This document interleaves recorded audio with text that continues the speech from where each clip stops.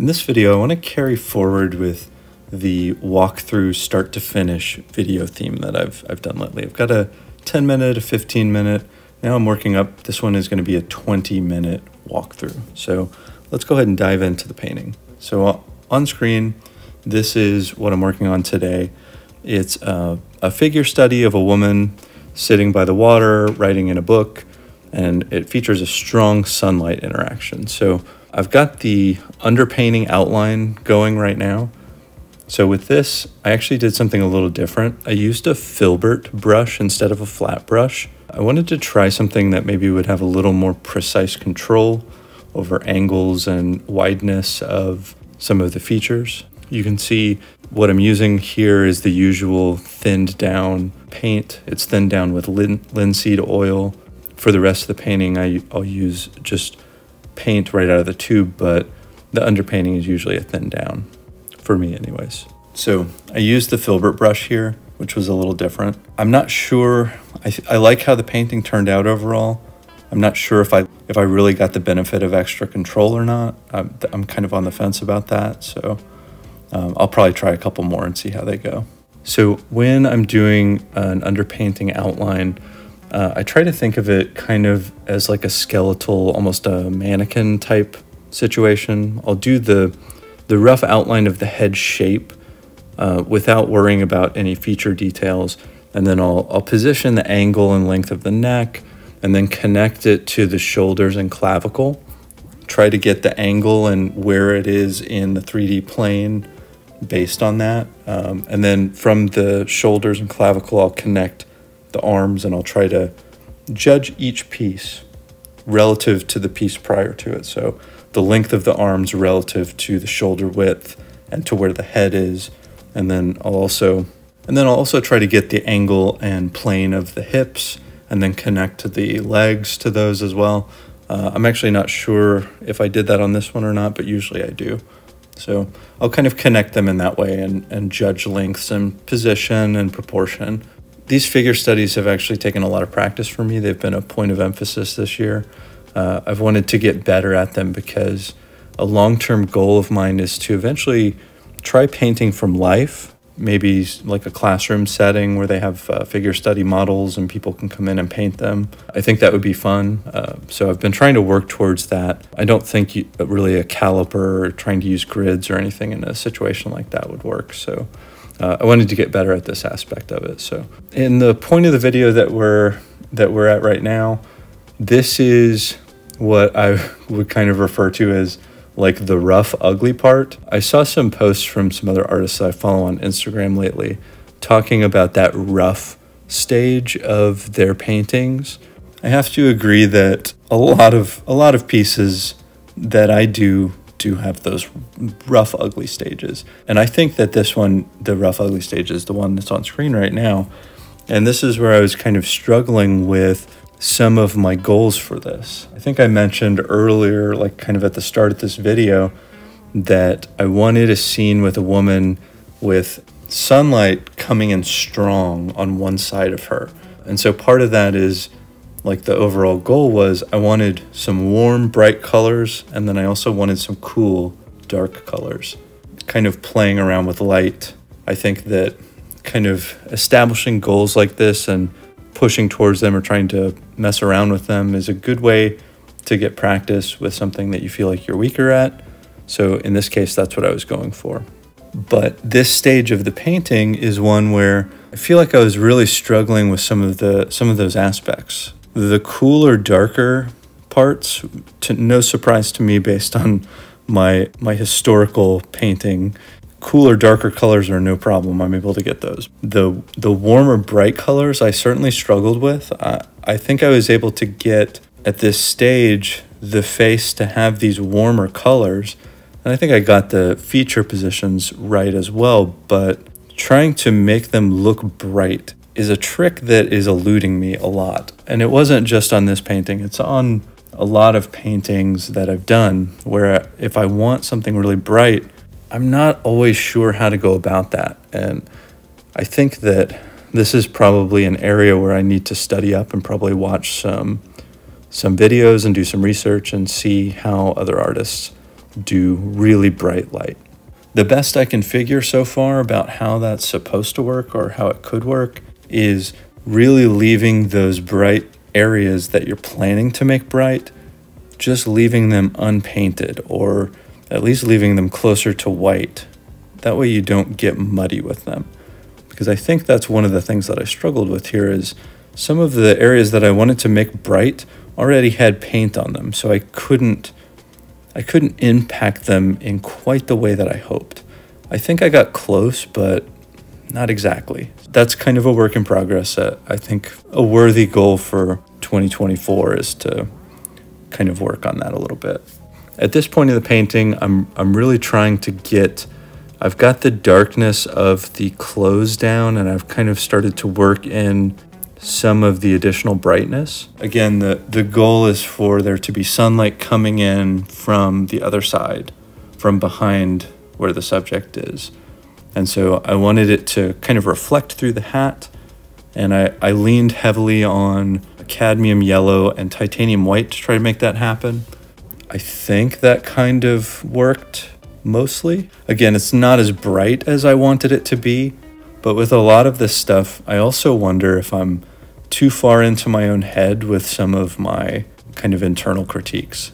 Like maybe to a viewer, this actually looks bright enough, but I feel like there is a brighter place I could have gotten this to. So at least I did get a lot of practice here playing around with orange, which kind of surprisingly I don't get to a lot. I lean heavily on yellow ochre, and yellow ochre doesn't really make a bright orange. It makes kind of a brown orange, getting to play around with cadmium red and cadmium yellow was kind of fun in this painting. I got to uh, work with some colors that I don't always get to work with. So I mentioned some of the challenges with warm and cool. I should talk a little about the success, though, at least, or at least in my view, what I feel like is a success here. Um, I really liked the book. I was surprised that that actually kind of worked. I used some blues to try to bring out the shadow tones in the book to make it kind of similar to the to the back side of the woman's left arm. And I think that effort actually worked. So I was pretty pleased with that. And I was able to keep the cools and the warms somewhat separate, which helps with the kind of illusion of a sun back there. I wasn't sure how that interplay was going to look once it was on paper, but it I think it did actually work. So that's something to be happy about. Another issue or concern that I kind of had my eye out for that never materialized in this painting is so you can see now I'm I'm starting to work on the background, try to fill in some of the kind of landscape areas, some of the water, some of the stuff that's far in the background, as well as the sky. I was worried about the blue, which is an ultramarine blue, how that would interact with the cadmium yellow. Is it going to turn green? Is what I was worried about. I, I'm I was worried about that just because I don't have as much experience with those colors interacting. And I know that uh, in some of the episodes of The Joy of Painting, some of Bob Ross's painting shows, I know he has mentioned that you have to be worried about that, that you don't want a green sky. Uh, that's something that he mentions pretty often. In this case, to my surprise, I did not end up with any green in my sky, uh, which is honestly a little shocking. I, I thought for sure I was going to end up running into that because I tried to keep the blues on the periphery, the yellows in the middle, and try to keep them a little separate. But when I started blending in white, I definitely mixed them up. So I don't know what to attribute that to because, again, I have less experience with cadmium yellow than I do with yellow ochre. So what I have read, though, about ultramarine blue is that it mixes very well with browns, whereas phthalo blue mixes really well with yellows. Now, I just read that somewhere. I don't have enough experience to know how true that nugget is, but at least based on this painting, ultramarine blue played relatively well with cadmium yellow. So that that is a relief. I think in a future painting, I need to experiment a little bit more with ultramarine blue versus phthalo blue and see how they both play with other colors. I think that would be beneficial to kind of experiment with that. Uh, maybe that can be my next one or, or one in the near future. I think that would be kind of fun. One issue that I think did materialize that I wasn't expecting is I didn't really, I don't think I did the sunlight reflection right. I wanted to put it in the water, like kind of reflect where the sun might be bouncing off the water in between the mountains or uh, something like that. But I didn't really, my spacing isn't right because I, I feel like the way I did the yellow, the yellow is more, the sun is probably more behind her hat, which I don't know. I don't, I don't know if that aligns with where I put the, the sun reflection in the water. So I don't know if this, this painting completely makes logical sense or makes natural sense or something. I, I don't know what the right terminology is there, but maybe no one would notice that if I never brought it up. But uh, I thought that was not quite a miss, but sort of weird. So, but it happens. So now at this stage in the painting, you can see I'm really trying to lay in some detail into the background. I've got the subject almost complete, but I wanted to have kind of some, I wanted to frame with maybe some leaves hanging down, but I didn't want just green leaves. I wanted some additional colors in there. So since it's, I guess it's winter now, but it's kind of like that kind of year, time of year. Let's get some some leaves of multicolor. I thought that might be kind of fun. I also feel like the rocks in the water probably needed a little more work. I, I wasn't sure how to do the reflection because every time I tried to lay in any additional darkness, it just looked like part of the rock. I think reflecting things in water is probably another thing that needs some practice. So there's there's always room for for growth and improvement, I think. Now, I'm not sure if we're to that point in this video yet, but there certainly was a point where I started having some light issues, some lighting issues. And I don't mean light that I'm trying to depict in the painting, I mean the actual light around me was kind of an issue. So this is um, has been a struggle ever since I started trying to film myself painting, starting a year ago. I've got my my easel facing towards a window with bright sunlight that comes in, but sometimes I find that sunlight when it starts to become more direct reflects off of my paint. So it kind of hinders the view of what I'm doing a little bit. And I feel like in this in this video, in this painting, you can kind of see that. I also have a softbox, a light softbox that's positioned kind of at an angle over my head that provides almost overhead angled lighting for this for this painting surface, which that does help a lot, but there are times where I feel like even that is maybe a little too reflective. So this is kind of a work in progress as far as trying to light my painting surfaces. I don't know what best practices because I'm not a photographer, but I have seen some other artists that I follow, like on Instagram and YouTube, that have shown their lighting solutions before. And one of them actually has an interesting setup where she has set up lights behind her canvas, like a whole system of lights all the way behind the canvas and below the canvas that just surround the whole thing. She has a huge canvas, but surrounds the whole thing and provides a really nice lighting solution that is not directly on the portrait.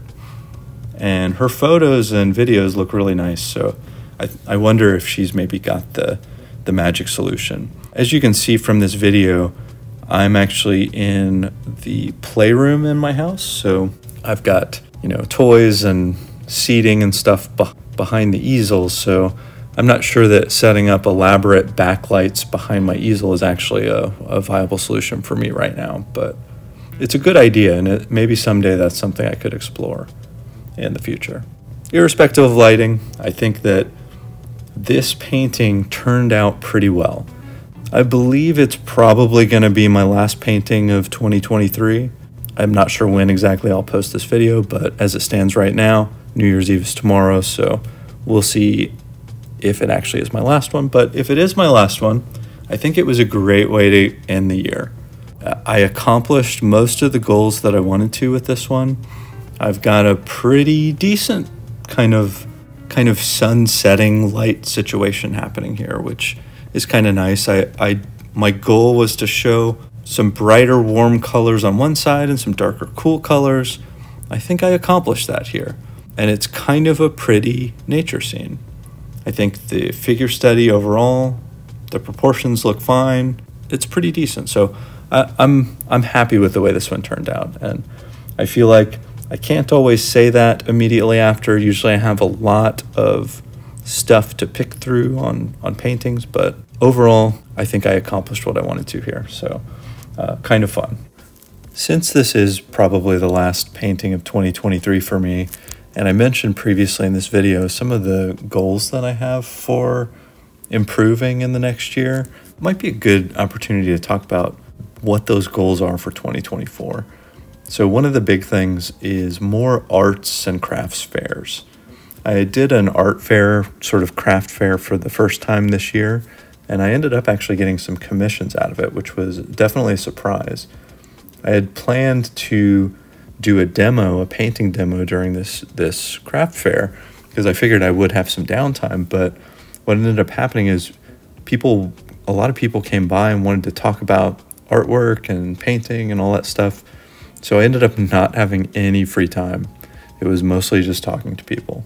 So there's lots of organization that goes along with those art fairs though. So I know I do have a lot of work to do next year if I want to if I want to participate in that again. A lot of it has to do with the setting up the booth and mainly just getting displays ready. One of the things that I was missing were, were the grid walls that I could hang my art and the paintings and, and prints from. And I also needed a lot more prints to sell. I only had a few, so I need to work on kind of stocking up with that stuff. Another goal I think I mentioned earlier in this video is uh, is figure studies. Will I finally paint from life? That I don't really know, but uh, maybe I'll seek opportunities for this, or or perhaps I'll stumble into it, kind of like I did with the art fair this year. Just something that I happened to come across. So, another goal is I want to do some more themed paintings, kind of some fantasy RPG, kind of swords and magic type stuff. I've always liked that, that sort of thing thematically, and so I think that would be fun to incorporate in more paintings. I actually had a, an Instagram poll recently where I asked like what what people would want to see more of. The vast majority of people wanted to see more figure studies. So that was nice that that aligned with what I wanted to do, anyways. But I even had a message that was separate from the poll where someone was saying they wanted to see more fantasy themed type stuff, like the swords and magic that I mentioned. So that's that's kind of nice too, because that was already something that was on my mind. So that's even better to hear from someone else that would like to see that. So otherwise, the goal is simply just to get more practice um, that was my goal this year is to just put in the time and put in the work to get better, putting in the time to improve. I did 134 paintings in 2023, and I feel like I saw really significant improvement through all that. And if I can put in similar work in 2024, I don't know if I can do quite that many, but if I could get close, that would really help. So that's all I have for this 20 minute start to finish walkthrough. I hope these do continue to be helpful. I'm certainly open to any comments or feedback that anyone might have about these. If if longer walkthroughs are better, or if you like shorter walkthroughs, or if you just prefer the topical kind of bite-sized individual videos that I do. I like making them all, so I'm open to many things.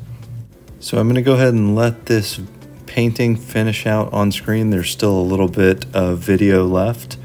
I appreciate you watching this one, and I hope to see you for the next one.